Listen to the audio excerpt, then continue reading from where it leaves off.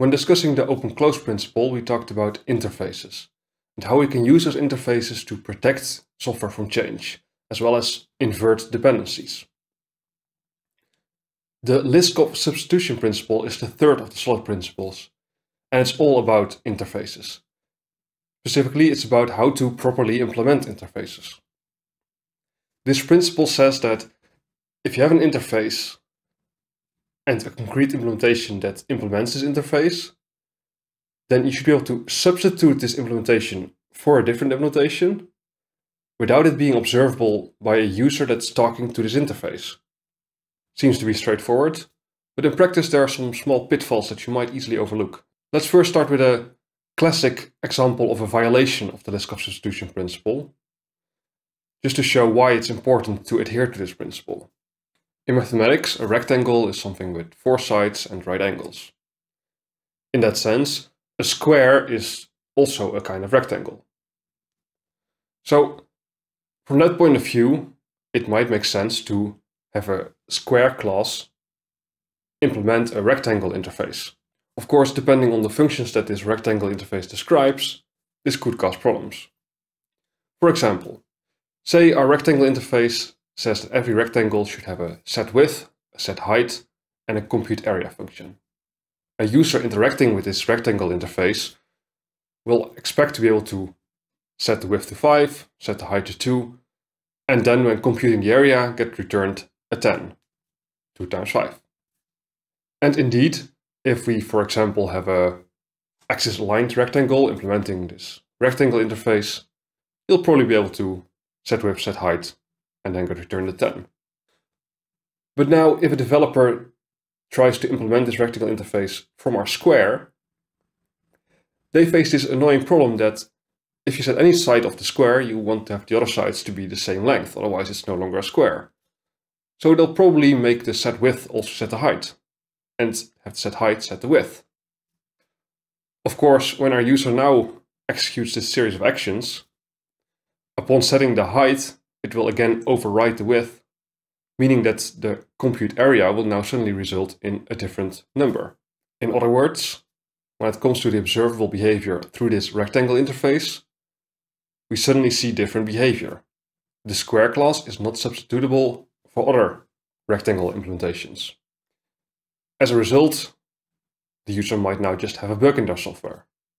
Or even if the user is aware of this annoying square implementation that doesn't really adhere to this rectangle interface, they'll have to make adjustments to their code at special cases where they respond to the actual concrete implementation instead of just talking to the generic interface.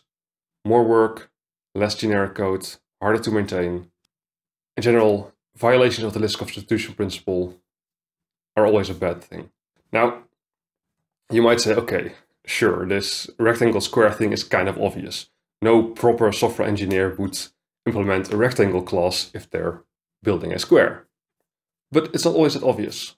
Let's forget about the square for now and let's introduce a new rectangle class. Say I also have a rotated rectangle.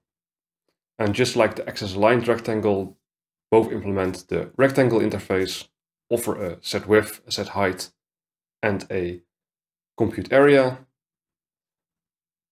Do these rectangles now violate the Liskov substitution principle or not? The only proper answer here is not as far as we can see. Because that's the thing, we don't have all the information here. Let's look at the implementation of, for example, the setWidth function. We now see that the axis aligned rectangle checks whether the input is less than zero, and if this is the case, it throws an error. You are not allowed to set a negative width. But the rotated rectangle treats this erroneous input differently. Instead, if you pass a negative number, it will just clamp this to zero. In other words, when a user is interacting through this rectangle interface, assuming that everything is just treating its input the same way, it might actually get different results if it happens to put in some negative numbers. And maybe this input is set by a clumsy user of the program, or it's the result of some calculation that can indeed give negative numbers. Regardless, the user of your interface is going to expect consistent behavior, even when the inputs are incorrect. The problem here is that the way we describe interfaces in our software is incomplete and often ambiguous. That's why when you design interfaces, it's important to make sure that your names are very clear. From the name of a function, you know exactly what it's supposed to do. The error behavior is documented. Depending on the type of interface, this can just be a comment above the function. But if it's a public API, you might want to have some proper documentation in place. And then when you implement these interfaces, take this into account. Make sure that any kind of interaction with this interface, even wrong interactions where you have to respond to incorrect data and somehow handle errors, they should all be the same. Now, we just looked at classes, but of course the Liskov substitution principle applies to all kinds of interfaces. For example, say we have a system level interface. We're building a web service and we offer a REST API for computing navigation data.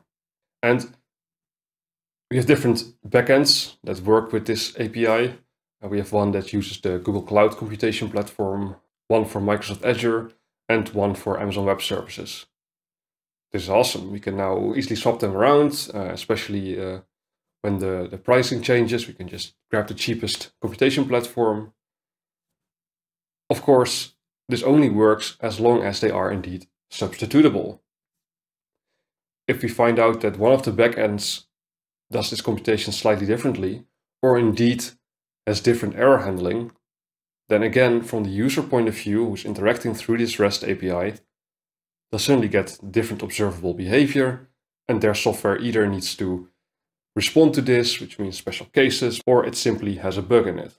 So, whenever you are implementing interfaces, whether at the class level, the system level, or anything in between, keep the Liskov substitution principle in mind.